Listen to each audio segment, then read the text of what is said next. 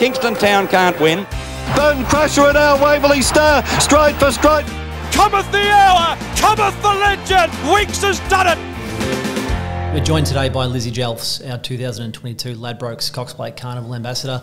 Lizzie, welcome, and um, to be announced as the Cox Plate Carnival Ambassador, how excited are you? Yeah, thanks so much. Yeah, I'm really excited. It's been a race that I've been very connected to ever since I moved out from the UK, and not only that, it's such an iconic race within the racing calendar here in Australia, and it's so well known overseas as well. So, it's I feel it's a very good fit for me, being a purist and being someone who's very much uh, connected from not only the media perspective, but also from working in the stables and working with horses that have contested a Cox Plate. And I know how difficult it is not only to get them in, but to win the race.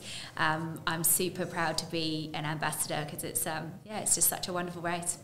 Well, it's great to have you on board. And first year we've had crowds back for three years through COVID. Um, we're past that now, and we're expecting a sellout crowd here on Ladbrokes Cox Plate Day and a big crowd here on uh, Manikato Stakes Night.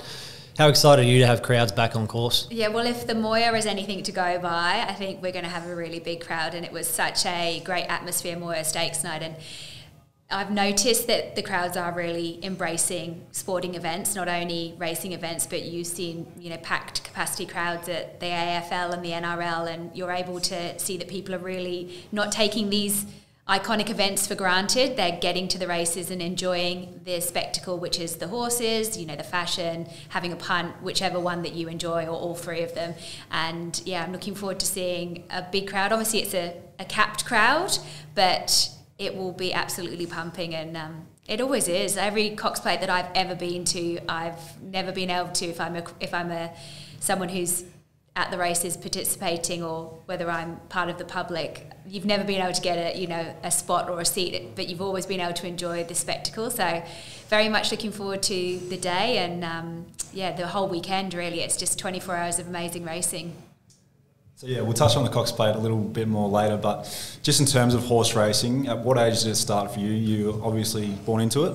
No, I'm not born into racing. I'm actually. Uh, have no racing connection at all. I am just a girl who loved horses and was really invested in uh, being around horses ever since I, I think I rode a horse when I was about five or maybe I was put on at about four when I went to a show, um, a fate in England, and my nanny at the time put me on a horse, and and I remember being a, like loving it and just pestering my parents like, please, can you take me for riding lessons? And they were like, okay, so they took me for riding lessons, and I I just every riding lesson I had, I just tried to keep getting more and more and more out of them. So I I just absolutely loved it. And it was nothing else I really wanted to do as a kid, and that sort of transcended into my teen and my you know younger tween years and teenage years because I ended up getting a pony and I did pony club and know my parents really didn't.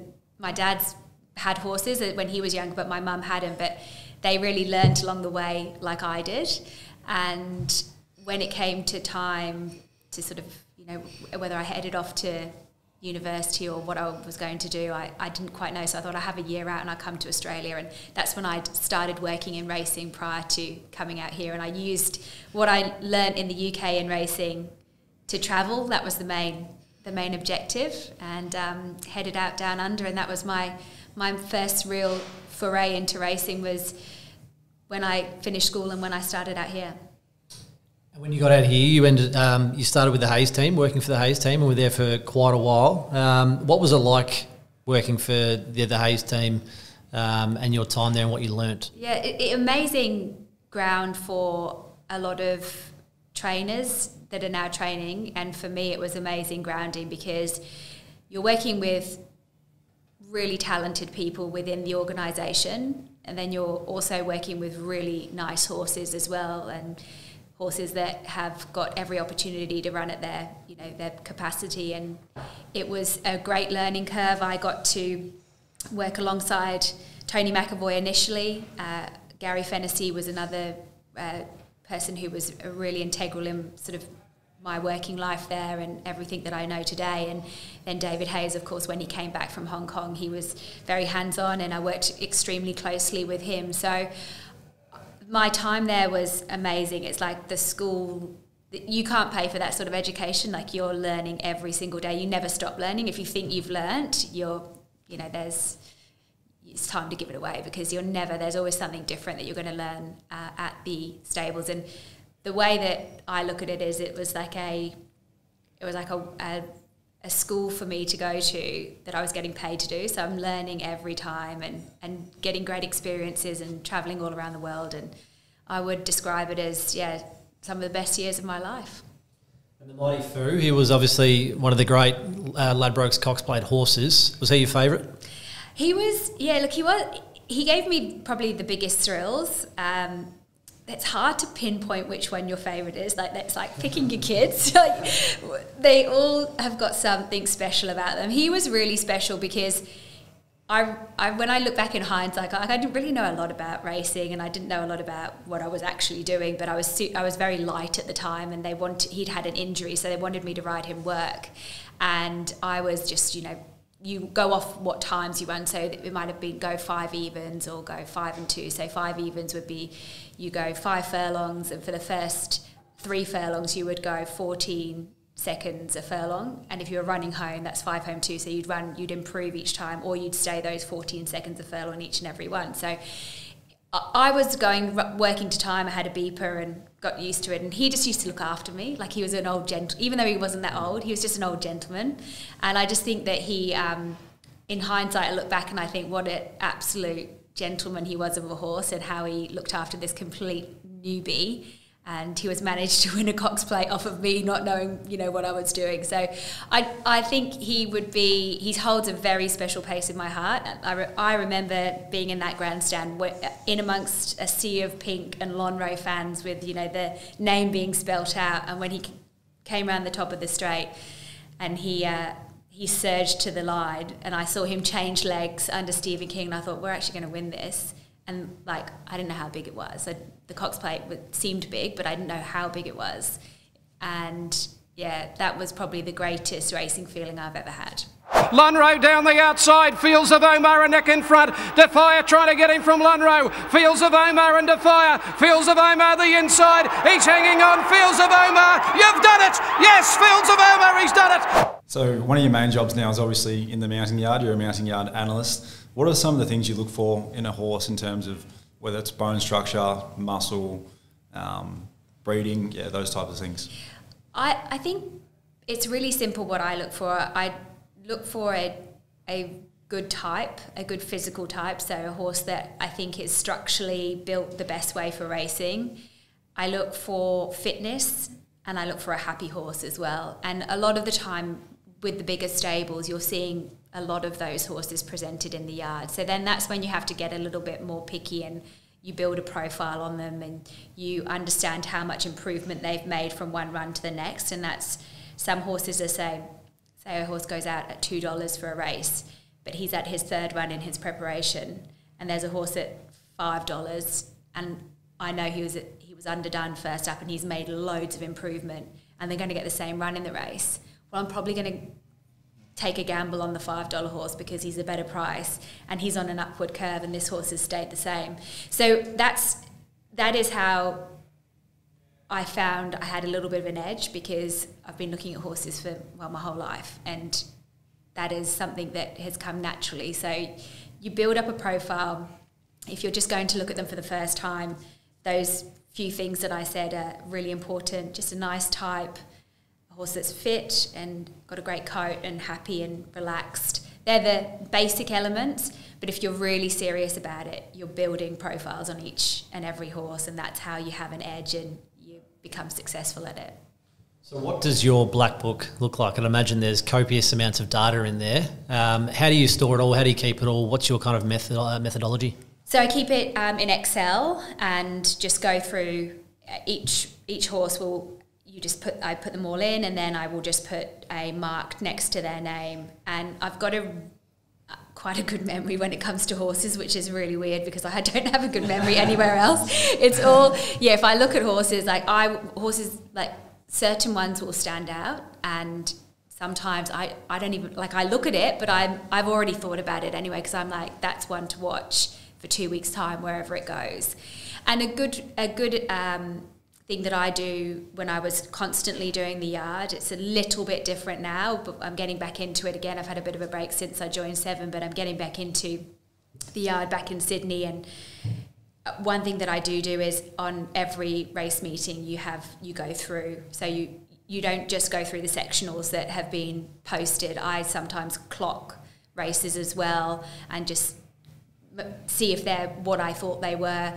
I'd make sure that I look at trials time and time again, and that will all go into the data and to notes and it yeah it's it and photos. I've got a lot of photos um, on certain horses. So yeah it's it's a i love it though. It's a you correlate a lot of data but it's by doing those jo- by doing it it goes straight in. And that's what you'll find. If you're writing it down and you're doing the work you get the results. Absolutely.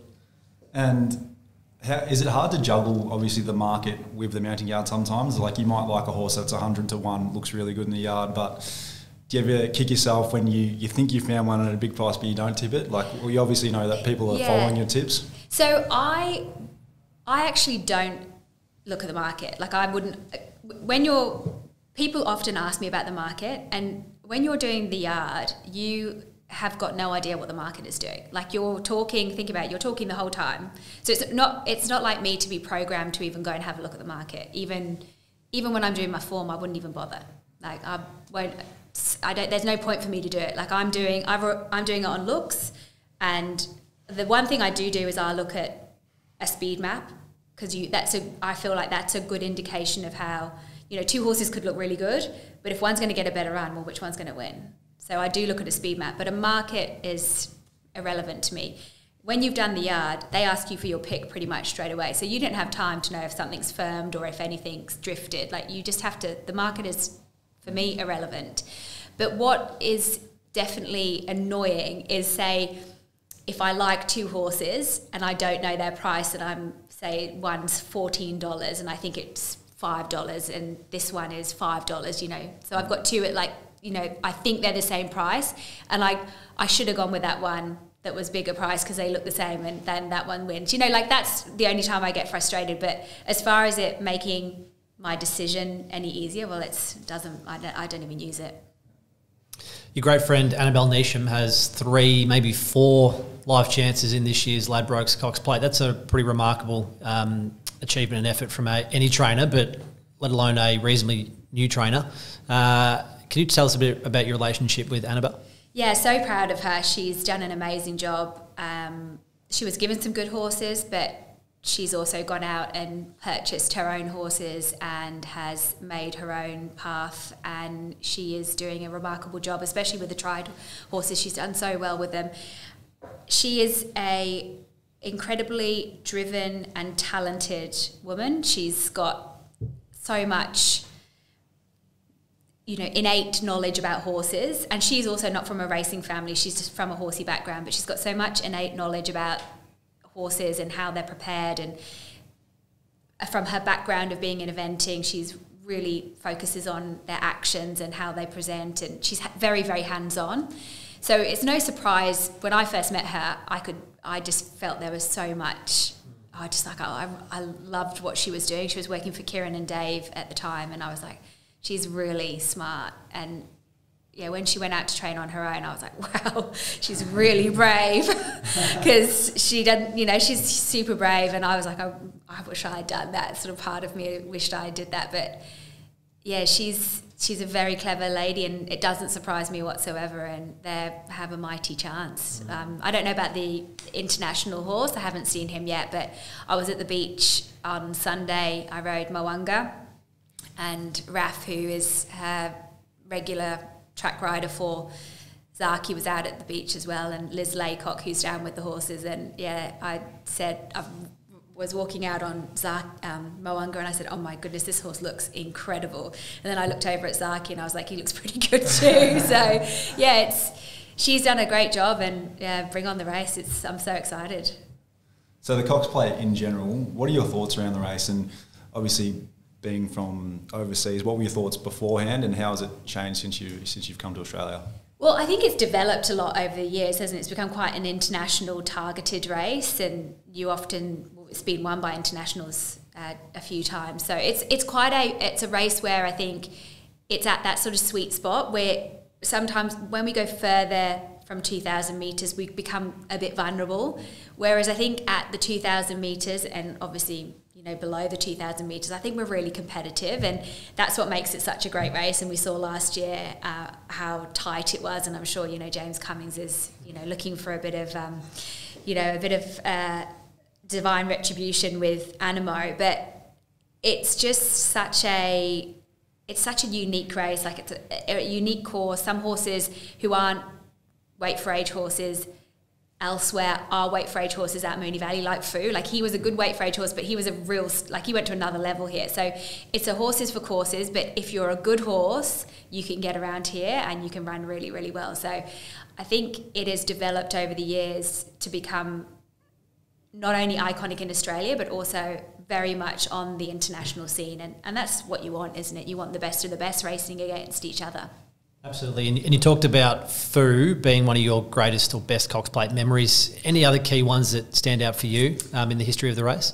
I think Winx's third Cox Plate it was you're going to laugh at me with this one was when I actually thought okay she's she's a real champion like I, I, I thought she was always very very good but when she won the third one, I was just like, she is like next level. Am I ever going to see anything like her again? And when she won the fourth one, I just expected her to win that. Mm. But I just think the third one was like she really had to dig deep. You know, she really had to win win with authority and. Um, yeah, I think that was be my most memorable. But yeah, the fourth Cox Plate for Winx was, you know, and everything afterwards. I remember watching Bruce McAvaney, who I work with now, uh, interviewing Chris Waller and just the and Chris gets quite emotional, just the relief that she's able to surpass champions and she's etched. I mean, are we? I ask you guys, are we ever going to see another one like her? I mean. Well, I know that it's been said around the office that uh, so Michael Browne, chief executive, um, with Black Caviar, I think he actually got in front of all staff and said, "Embrace this night tonight." When she came out here, um, you'll never see this again. yeah. And then you know, lo and behold, a few yeah. years later, um, the mighty mare turned up. So we hope, definitely hope that there is another one in, in the works because we saw how much it does for, for us and just and for racing in general. So, yeah. but as I said, I, I can't see anyone ever being as good as she was. Yeah, we have so much to thank her for. Like she really put racing on the front page for all the good reasons, and I often would see like the young kids watching her over the fence and i'm like they will remember that day for the rest of their lives and they could be you know sitting like we are talking about it in you know 10 years time. So that's what we owe her for and, and she did it here on this hello turf. Absolutely. So we've got two non-racing questions to finish. We've got uh, fashion and racing. They obviously go hand in hand. Something i know you wanted to ask yeah, i've been waiting to ask this one. Snappy dresser Um, no, it's definitely the girls in the office made us ask these. What uh, tips do you have for the punters heading to the races this spring, and how do they survive the long day? Oh, um, pack a pack a um, pair of flat shoes in your bag. That's what I always think is a good one to do for the ladies if you've got heels on all day. Um, but I think, yeah, just enjoy the day. Don't don't over race.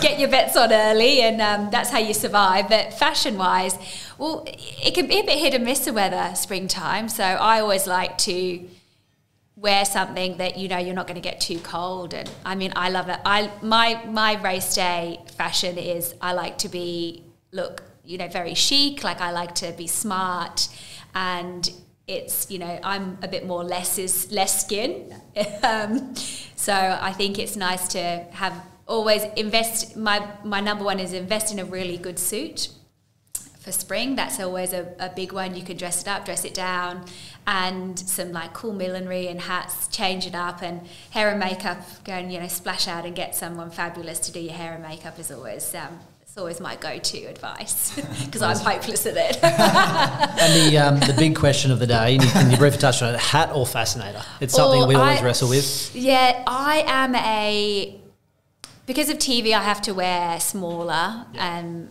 uh, fascinators, but there are some. I think a fascinator is beautiful, but if you're if you're going for the big hat, there is a bit of you've got a bit of management to go with it. So if you're if you don't want to kiss anyone, go with the big hat because then you don't have to greet anyone. But I reckon a small little pillbox or something really chic. There's some beautiful millinery like not even expensive, but like definitely the homegrown Australian millinery is who I tend to go towards. And you can go really high end like an Era de Winter, or you can you know go to Ford Millinery and, and pop a headband on that looks just as good. So there's so many people out there to you know, embrace. And there's lovely little crowns and bits and pieces. You're learning so much about this, aren't you, boys? the girls will be hanging on to that, yeah. that's for sure. Yeah, but a good suit, a nice tailored outfit that you can change it up is always, I mean, you would. You know what a good suit is, boys. absolutely. you, can change it. That's it. No, and yeah, um, yeah. So the weather can be a bit hit and miss. So I, I reckon a suit this year. There's so there's so many beautiful ones out there. And we can't let you go without a tip for the, you know, we'll go with maybe the two races. So the Ladbrokes Manikato Stakes on the Friday. I know that's probably a little bit more up in the air than the Cox Plate, but a tip for, the Manikato Stakes and the Ladbrokes Cox Plate? Yeah, so I reckon after Rothfire's run in the Moir, he looks, you know, he's he's the one that is the obvious horse to go towards um, um, a Manikato. It's re- in the Cox Plate. When does this podcast go out? Don't know yet. There's a big race this big race this weekend that could There's a big yeah, there's a big race this weekend. But you know what? If I'm saying here and now, what I'm saying is the barriers are so important in the Cox Plate, and it's going to be so so many tactics. You go with Anamoe, who has done absolutely nothing wrong, and the oh, my only question mark with him is that he has that niggling little hmm. injury after his his win in the George Main. And you'll never know exactly how he's going until he's put under pressure, even though they're really happy with him. And he may be fine, but that's just a that just adds to the theatre, doesn't it? Hopefully he's fine.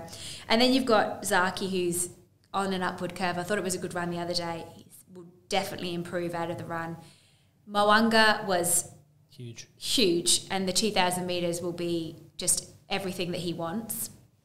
And then Alligator Blood, The wild think, card. is yeah the the wild card. And then now we've had Top Rank, and he could beat them all. So I think this year it would be very fitting to see another female trainer win the race. Gai has never won it. So that's one of the big majors that she's never won. So she would be absolutely desperate to win the race. Has been won the Cox Plate by two females before, but it's never been won by a female jockey. And it's never been won by a female trainer and jockey combination, which would be Annabelle and Jamie Kah with Zaki. So I think we need a really good fairy tale. But then again, it would be lovely to see another Cummings win the race. It's a few good storylines. So there's some amazing storylines, and I think that there you're going to see a, a great race coming up soon this weekend, and um, or if this is playing, it will be past. But yeah, it's it's a it's shaping up to be what I thought it would a great great race. Oh, awesome. I think that's all we've got time for. Lizzie, thank you for your time. Thanks, Lizzie. Thank uh, you so good much. luck with the carnival. Thank you. Thank Thanks you very for much. having me.